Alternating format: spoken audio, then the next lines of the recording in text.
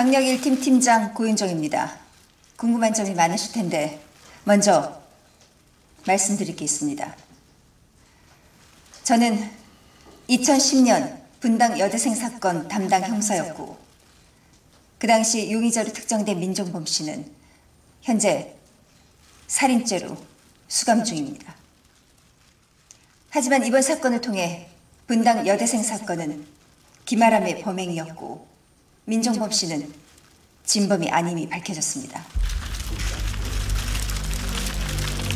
민종범 씨의 형이 확정된 후 김아람은 담당 형사인 저에게 자신이 진범이라는 명백한 증거 사진을 보냈습니다. 하지만 그 사실을 알고도 저는 더 이상 수사를 하지 않았습니다. 잠깐만요. 진범을 알고 있으면서 경찰이 어떻게 그럴 수가 있습니까? 그럼 의도적으로 사건을 은폐했다는 얘기네요. 맞습니까?